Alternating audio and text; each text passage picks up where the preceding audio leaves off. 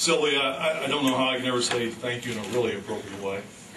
You know, your thoughtful, kind, and generous support is felt by so many, including the young ladies here today who will benefit from playing at Miller Ranch Stadium. Thank you. You know, and you referred to it as the ranch. When we were talking about this earlier, Frank Mercogliano mentioned the fact that he goes, this is really going to be neat. He goes, you know, they're going to refer to it as being at the ranch. They'll talk about coming to the ranch for the game.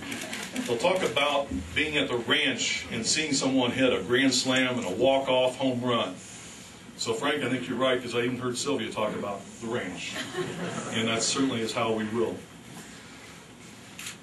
Before I talk about Bengal Village, one other thing I want to talk, add, add in because Sylvia's been a great fan since they moved back here in 2002. But I also remember in 2003 when I first got here and early in 2004, Roger Rowe, Rick Eskelson, Ted Flandro talking to me about a guy that we need to get involved with the Bengal Foundation Board of Directors. And that was Pappy. And I'm glad he was involved before he got here. I'm as glad he was involved while he was here, and he will continue to be involved uh, as he lives on with us. Truly, members of the Bengal family that I so often refer to includes our student athletes, our staff, our alumni, and certainly the members of the community that are here to celebrate with us today. Bengal Village was a vision, now it's becoming a reality. In 2005, when we started talking about the needs, not just for facilities, but for our programs to be successful, we sought to develop a master plan which will allow us to become competitive in the Big Sky Conference and in the Western United States amongst our peers. We developed a plan, and now it will be able to move forward.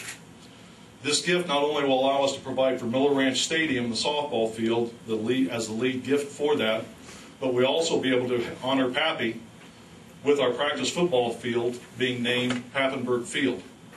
This will allow us to move forward with the first two parts that we really felt were essential in Bengal Village and the development of that program. What does this gift mean for Idaho State University athletics? Well, it means there's still a lot more work to do, that's for sure. This will allow us to move forward make, making Bengal Village a reality. Expectations since the plans were announced a year ago is why hasn't the shovel been in the ground already? Well, we're moving closer to that every day. Idaho State University will need to go to the State Board of Education and seek formal approval for our plans to construct a softball field and a football practice field as part of Bengal Village.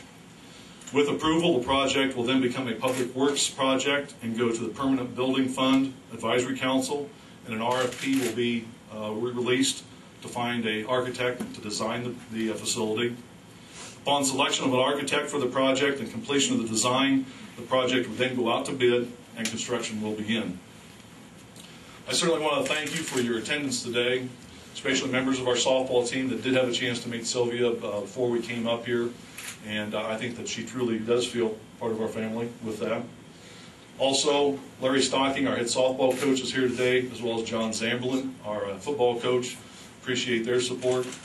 One other person that's been key, certainly, in, in this process also, uh, former ISU volleyball player and member of the development office, Pauline Theros. She's sitting here shaking her head no, but Sylvia and I both know how valuable she's been to this process, and we certainly appreciate that along with Vice President Tingey and the support that he's provided.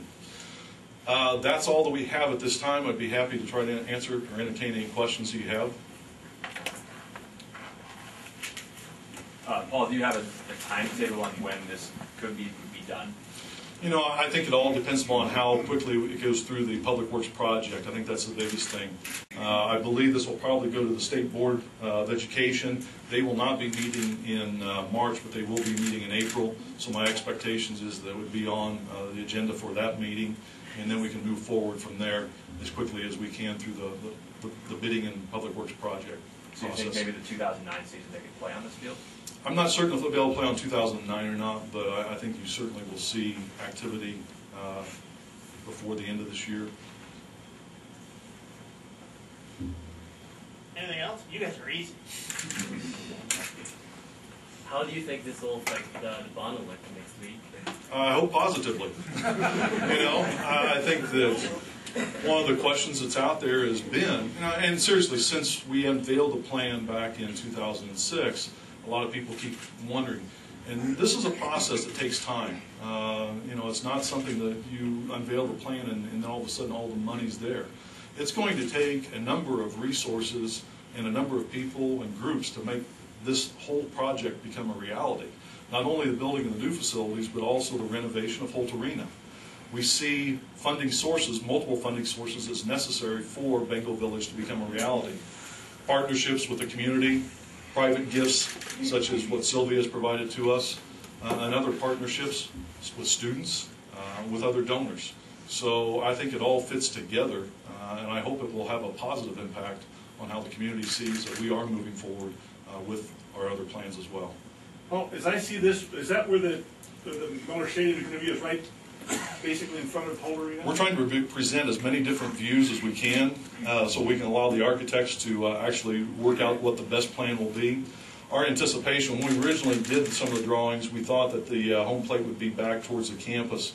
Uh, I asked them to make sure that they put the scoreboard away from my office so I could look out the window and see the score and know whether whether I need to go out or not. I think the rendering that's over here is probably closer. Home plate will probably be located on the north, whether it's the northeast or the northwest, uh, but that is uh, one of those two areas. That lends very well with our entry plaza for the entire area and really creates, I think, what will be a stunning entry area for Holt Arena, the athletic center, the practice facility,